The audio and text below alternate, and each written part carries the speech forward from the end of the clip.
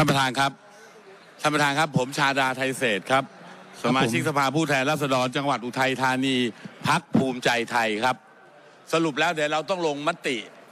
วาระสามรายบุคคลใช่ไหมครับ โดยการขานถูกชื่ต้องครับ ใช่ไหมครับ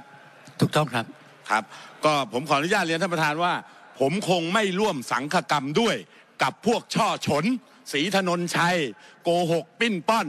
แล้วก็ไร้สาระสิ้นดีนี่คือสภาโจกครับผมอย่าระบุชื่อครับ ครับพวกเราเตรียมตัวนะครับ เตรียมตัวก็เป็นมติที่เป็นไปตามเสนอ ก็ไม่มีทางหลีกเลี่ยงไปอย่างอื่น ต้องลงมติตามที่ที่ประชุมนี้ลงมติ